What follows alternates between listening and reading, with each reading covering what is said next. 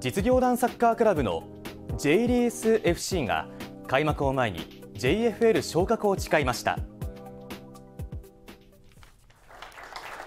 今シーズン九州リーグで戦う J リース FC は J リーグの下のカテゴリーにあたる